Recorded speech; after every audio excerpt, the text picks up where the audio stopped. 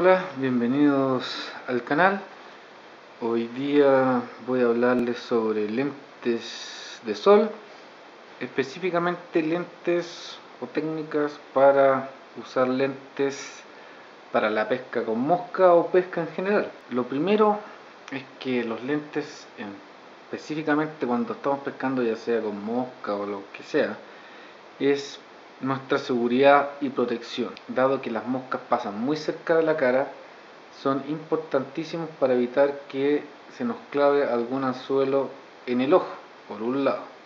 Y por otro lado nos dan protección contra los rayos UV del sol, nos dan protección contra polvo, viento y arena. Es importante que los lentes de pesca que utilizamos sean polarizados, porque el polarizado lo que hace es eliminar el brillo que genera el sol sobre el agua o la luz. ¿Por qué se produce eso? Si supongamos que esta es la superficie del río es plana, los rayos del sol o de la luz al rebotar sobre el río lo que hacen es que las ondas se polarizan. ¿Qué significa que se polarizan? Que se rebotan horizontalmente. Por lo tanto, el polarizador, los lentes lo que hace es filtrar o anular esa luz horizontal y lo que, nos, lo que nos permite es eliminar ese brillo sobre la superficie del agua y poder ver con claridad hacia el fondo de, si es que no muy profundamente, río, lago, laguna, estero. Para las personas que pescamos de eso son varias cosas además de mejorar la velocidad, la visibilidad, perdón, es que podemos determinar la estructura del río, lago o laguna, las obstrucciones que existen, nos permite ver con mejor claridad los peces. Muchas veces cuando pescamos con musca nos gusta hacer pesca trucha vista y para eso además de entrenar el ojo hay que tener un buen par de lentes. Los lentes vienen en distintos materiales, hay de vidrio y policarbonato, de vidrio yo no tengo porque además de ser más pesados y más caros, la única ventaja que tienen sobre el policarbonato es que son difíciles de rayar. La otra desventaja que tienen además de lo caro y pesado es que son más fáciles de que se quiebre. Al revés, con el policarbonato son más baratos, son más livianos, se rayan más fácil, o sea hay que tener un cuidado de almacenamiento mejor, pero eh, son más difíciles de que se quiebren cuando se caen, etc. Y los lentes vienen en distintos colores, yo voy a hablar de los más conocidos o usuales. El tinte del lente influye en la cantidad de luz que filtra y los colores que eh, logra acentuar o resaltar. Para la pesca en agua dulce, el color por excelencia del tinte del lente es el cobre, ideal para la pesca ya sea en ríos o lagunas, lagos. Más o menos cubre adecuadamente todas las intensidades de luz a lo largo del día. En la mañana cuando tenemos poca luz, en la tarde cuando hay mucha y finalmente al atardecer ya cuando vuelve a haber poca luz. Ahora, hay un tinte que es ideal para condiciones de baja luz que es el amarillo, pero eh, muchas veces el amarillo a mediodía eh, molesta mucho y cansa mucho la vista porque entra demasiado, demasiada luz. Después para el mar hay dos también colores clásicos que es el azul cuando pescamos lejos de la costa embarcado o el verde cuando pescamos de orilla. Parte importante del kit es contar con un sistema de limpieza. Yo ya les voy a mostrar los lentes que tengo acá, pero quería cubrir todas las bases. Lo que uso yo para limpiarlos cuando llego a casa es un spray que se puede comprar en cualquier óptica, en este caso GMO, mi GMO no me paga por hacer esto. Valen alrededor de dos mil pesos chilenos y con un pañito un poquito más. A veces el paño te lo regalan cuando uno lo compra. Y son útiles porque durante el día de pesca, si nuestros lentes se mojan y después con el sol o durante el día se secan, queda una pequeña capa o costra de cal sobre el lente y es difícil sacarla con un paño sin algún líquido. Y, por lo tanto lo que yo hice a veces me molestaba mucho, no me daba cuenta, después decía, oye, ¿por qué estoy viendo tan mal? Y tenía una manchita en el lente lo que hago es andar con uno o dos toallitas húmedas especiales para la limpieza de lentes. En este caso, ¿por qué tengo esta marca en particular? No sé si la venden en Chile, pero es súper barata. 120 de estos sachets o 200 valen cerca de 12 dólares por eBay, más 14 dólares de envío. O sea, por 15 mil pesos tenemos 200 sachets para andar trayendo en el río. Acuérdense de cuando terminen de usarlo, guardarlo y no botarlo al río o al lago. Bueno, les voy a mostrar algunas importancias. Ya hablé de casi todos los lentes, pero lo que no les he hablado sobre la forma, y se los quiero mostrar con los lentes que tengo acá. Hay distintas formas de lentes y hay distintas formas en las que los lentes son construidos independiente de los materiales.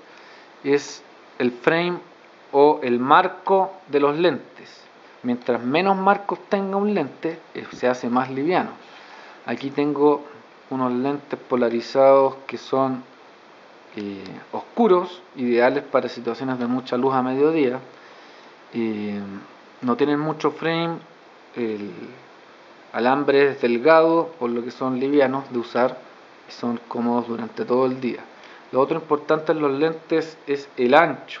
Si yo tengo una cara muy ancha y los lentes son muy angostos, esta parte del lente en la oreja me va a empezar a doler. O sea, después de dos horas de uso empieza a molestar y después de cuatro horas ya cuando uno se lo saca es como un alivio. Después hay otro tipo de lentes como estos que tengo acá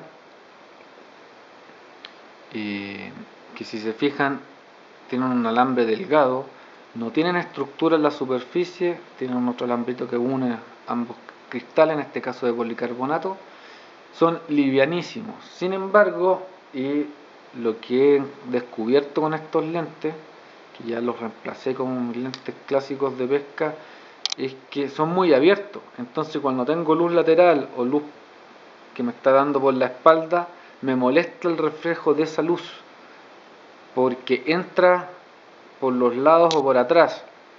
Eh, y se me hace incómodo.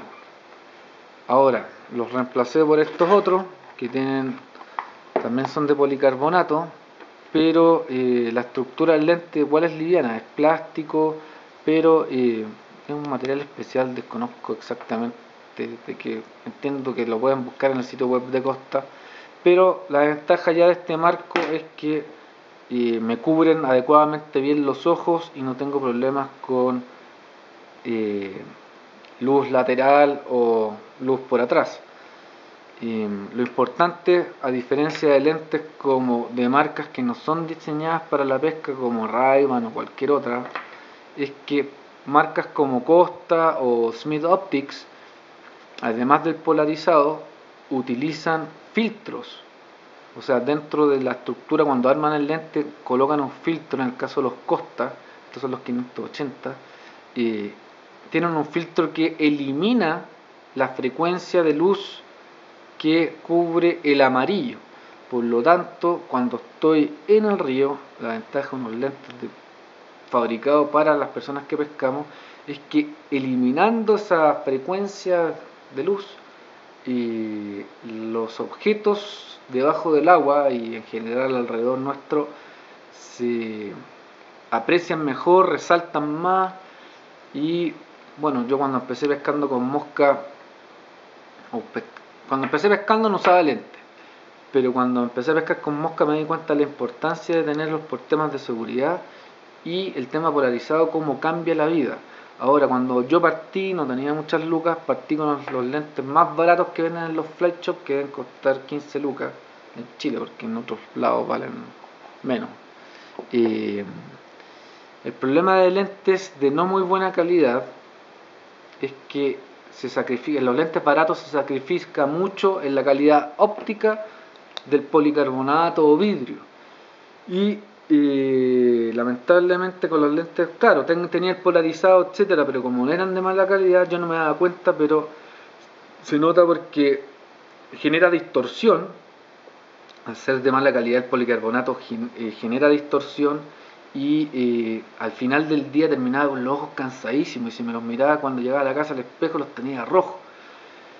Claro, cuando uno parte al final y es joven, eso no importa, pero como hemos comentado, comentado en otros videos, en la medida que uno va eh, avanzando, va teniendo más lucas, va buscando comodidad. Y unos lentes de buena calidad eliminan la fatiga al final del día, que yo encuentro que es, es importante, por lo menos para mí. Lo que no estoy diciendo que sea necesario comprar lentes caros, les estoy contando qué beneficios tienen gastarse unas pocas lucas más en lentes. Si se fijan acá, otro tipo de lente eh, que también está diseñado para pesca es Smith. Smith, entre comillas, le copió a Costa porque también filtran ciertos rangos de frecuencias de luz. El modelo que las filtra es el Chromapop. Ojo que no todos los modelos de Smith Optics filtran. Y eh, si se fijan, estos son mis lentes amarillos y estos son lentes eh, cobre. La diferencia entre estos dos es que este no es fotocromático, por lo tanto con mucha luz se mantienen siempre iguales. Estos son fotocromáticos y a veces los ocupo todo el día o a veces ocupo estos lentes en la mañana con condiciones de poca luz al ser amarillo y después en la tarde y el resto del día uso estos. Otra parte importante y antes de terminar, cuidemos nuestros lentes, me ha pasado varias veces tener algo para evitar que se caigan de nuestra al río y perderlos, porque después cuando ya uno empieza a invertir un poquito más de lucas, hay que cuidarlo y perder un par de lentes, además que te arruina el día de pesca, y te sale caro. Y espero que les haya gustado este repaso, resumen de los lentes de pesca, para qué nos sirven.